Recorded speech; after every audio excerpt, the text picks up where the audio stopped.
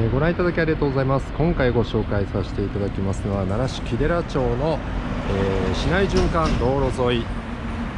テナント物件のご紹介となっております。えすぐ目の前ではですね大きな病院がございまして、えー交差点の角地となっております。非常に交通量もございます。でこのまっすぐ行きますと、えー私立病院も、えございまして、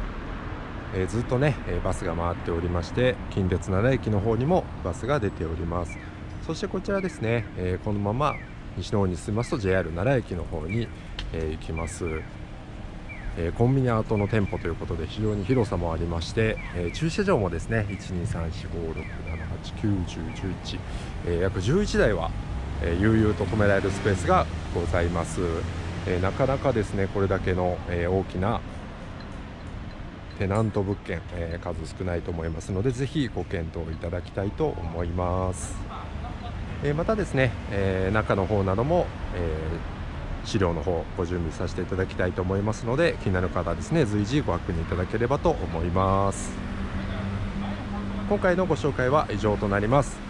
えー皆様の物件探し、えー賃貸あります。きでは皆様の物件探しを全力でサポートいたします、え以上でご紹介させていただきました。